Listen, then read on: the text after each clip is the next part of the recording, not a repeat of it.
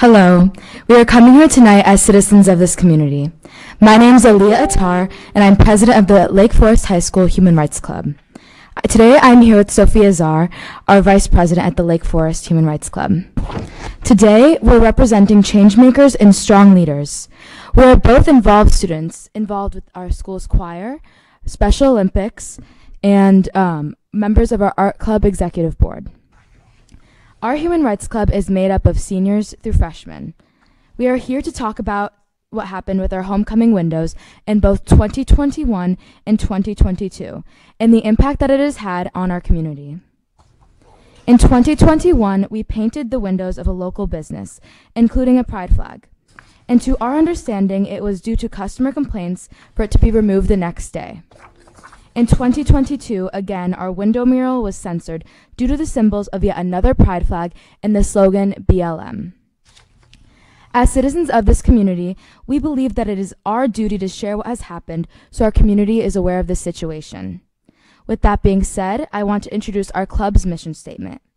To promote inclusion and equity through awareness, advocacy, and outreach in our community and beyond. We feel that this aligns with the City of Lake Forest's mission statement, which states to be an appealing community and promote a community of spirit of trust, respect, and citizen involvement. In order for our community to fully achieve this mission, we must be aware of the events that have unfolded in the past week. As members of the Lake Forest community, we are participating in civic engagement and standing up for what we believe is to be right. Participating in window painting for the second time after last year's erasure, we were shocked to see this happen to our community once again, two years in a row. After our 2022 windows were censored, we as a club decided to take down the entire window painting, as it did not represent our club or what we stood for. It was a censored message. We were shocked and disheartened to see our painting had been erased a second time and felt defeated by the culture of censorship a culture that does not welcome all. Our core values do not feel represented after these events have unfolded, and neither do the minority groups depicted in the mural, such as the LGBTQ plus community and people of color. Within our community and school, there are families of color, and there are people who are part of the LGBTQ plus community, and they are hurt by this narrative. They are hurt by the mural erasure. We hope to change the narrative around diversity and inclusion in our community. The symbols that our club painted on both windows represented love and inclusion, and we want them not only to be tolerated, but welcomed in our community. Censorship is a huge issue in our world right now. It is absolutely not in the best interest of our home, as it does not seem to foster or promote a, a community of spirit of trust, respect, and citizen involvement, as stated in the City of Lake Forest mission statement. Thank you for your time. Thank you. Uh, Next, I have Sophia Czar.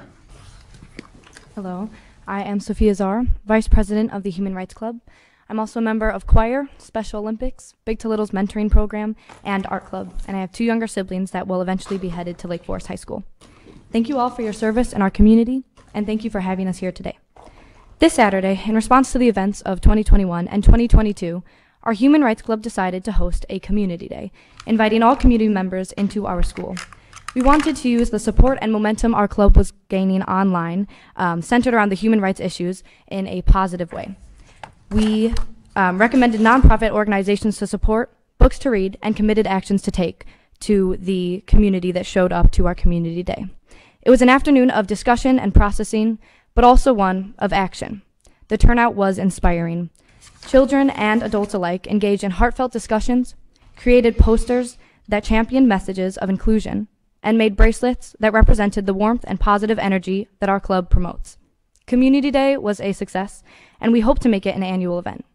It opened both dialogue as well as compassion, representing our club's very best side, rather than the intolerance held by a minority in this community. We love this community. We think there's such an opportunity here to become a more unified, further accepting, and kinder place for marginalized groups in Lake Forest. There's also a real risk to continuing to allow antiquated messages of intolerance to be linked with Lake Forest. As our neighboring cities in Lake County grow more accepting, Lake Forest lags behind. Are we really a community so resistant to the idea of acceptance, or is this vocal minority writing our community's false narrative? How can we make this a safer and more inclusive space for groups who feel unseen in Lake Forest?